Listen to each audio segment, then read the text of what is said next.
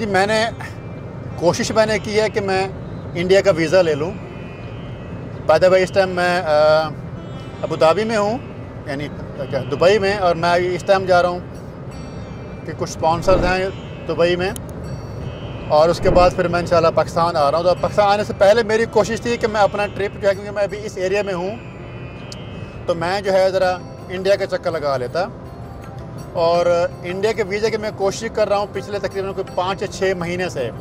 تو میں نے پہلے ویزا اپلائی کیا I think in November last year اس میں سارے ڈاکیومنٹ جیسے میں نے اس کی کافی کافی اس کے میں نے ریسرچ کی آن لائن کہ کیا کیا ان کے ڈاکیومنٹس ہیں as a Pakistani origin even though کہ میرے پاس جو ہے آسٹریلیا کا پاسپورٹ ہے کیونکہ میرا پاکستانی اوریجن ہے تو وہ انڈیا کے پاسپورٹ انڈیا کے ویزے کے لیے اس کا ذرا مشکل مشکل کر دیتا ہے۔ وہ تو میں نے کہا اس کے میں نے ریسرچ کی کہ کون کون ڈاکیومنٹس ہے وہ چاہیے ہوں گے ان کو۔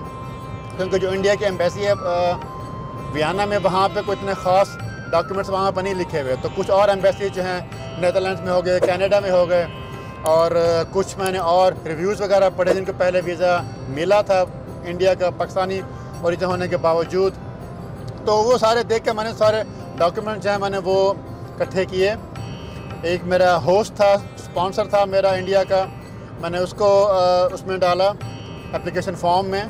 تو میں نے وہ سارے ڈاکیومنٹس وہاں پہ جمع کرا دیے۔ جب میں انڈین ایمبیسی میں گیا یہاں پہ بیانہ میں، تو وہاں کا جو آفیسر تھا وہ کافی اچھا آفیسر تھا۔ اس نے میری کافی ہیلپ کی، کہتا کہ آپ کی اپلیکیشن ٹھیک ہے کہ اس کے ساتھ اپنی پوری ایک آئیڈینٹی جو ہے آپ کی انڈیا میں آپ کہاں کہاں جاؤ گے، کہاں کہاں پہ آپ اسٹے کرو گے، کون کون ہوٹل میں آپ رہو گے ٹینٹیو جو ہے آپ کی بکنگ وغیرہ، وہ تو میں نے پھر اپنا ایک پورا پلان جو ہے کہ میں اس تاریخ کو میں یہاں پہ انٹر ہوں گا اس تاریخ کو میں اس سٹی میں ہوں گا اس تاریخ کو میں وہاں سے یہاں پہ جاؤں گا۔ تو پورا ایک جو پلان ہے، تقریباً کوئی اے فور سائز کے پیج پہ، وہ بھی میں نے پلان بنا کے ان کو میں نے وہ بھی بھیج دیا۔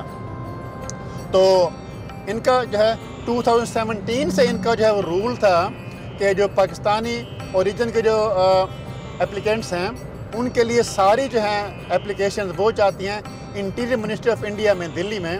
اور پھر وہ وہاں پہ جا کے سارا اس کا باقاعدہ اس کی جو ہے اس کے وہاں بہت ساری تفتیش کرتے ہیں۔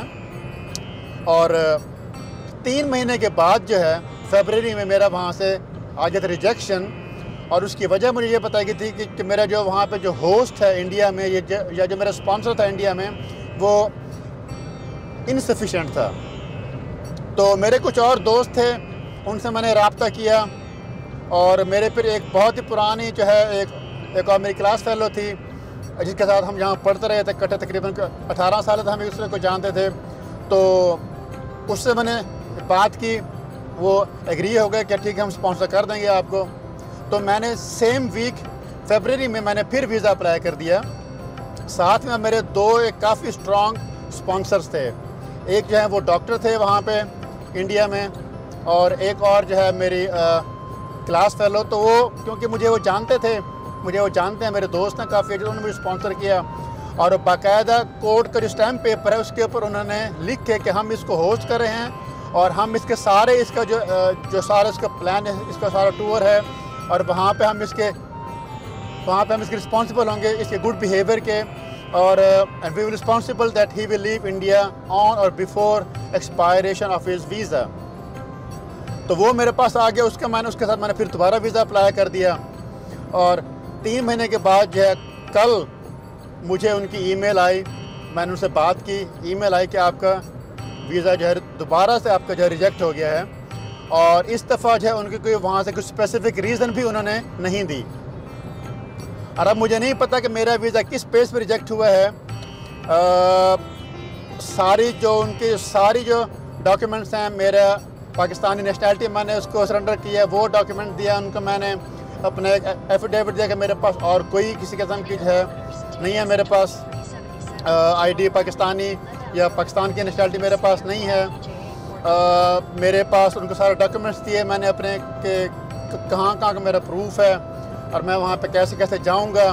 ایک پوری ڈیٹیلڈ پلان میرے اس اسپانسر سے پھر وہاں پولیس بھی اس کے پاس گئی، دو دفعہ پولیس نے بھی جا کے ان سے بات کی اور وہ سارا کچھ ہونے کے باوجود بھی آئی ہیو نو آئیڈیا کہ میرا ویزا جو انڈیا کا کیوں ریجیکٹ ہوا ہے۔ اور آئی ہوپ کہ انشاءاللہ ایک نہ ایک دن میں وہاں پہ جاؤں گا کیونکہ India to visit India is my my dream اور وہاں پہ ابھی اس ٹائم کیونکہ میں اس کے آس پاس ہی ہوں، پاکستان میں اس ٹائم ہوں، تو میرا خیال تھا کہ اگر میرا وہاں سے ہو جاتا تو بہت اچھا ہو جائے گا۔ میں نے کہاں موڑنا ہے۔ One kilometre to the exit okay تو وہاں سے جو ہے ابھی اس دفعہ تو انڈیا کا ویزا نہیں ہے، تو ہمارا پلان جو ہے وہ تھوڑا سا اور چینج ہو گیا اب اگلے ٹرپ کے لیے۔ میں آپ کو بتاؤں گا اگلی ویڈیو میں۔ لیکن اس ویڈیو کا مقصد صرف یہی تھا کہ شاید کوئی اگر آپ میں سے کوئی ایسے ہیں انڈیا میں دوست وغیرہ اور کوئی ان کی اتھارٹیز وغیرہ جو ہیں انڈیا کی انٹیریئر منسٹری میں یا کچھ اور کہ یار آئی ایم اے ٹریولر میں کہاں کہاں ٹریول کیا میں نے اور انڈیا ٹھیک ہے جو بھی صورتحال ہے، لیکن ٹریولرز کے لیے کہ جو جینون ٹریولرز ہیں like I am please give me visa next time تو اس ویڈیو کو میں یہیں پہ اینڈ کرتا ہوں and then I will see you in the next video جہاں میں آپ کو بتاؤں کہ میرا پلان جو ہے وہ کیا ہے۔ اس دفعہ کا اور کافی انٹرسٹنگ پلان ہے، کافی لمبا روٹ ہے۔ تو I will see you next video تب تب تک کے لیے، السلام علیکم۔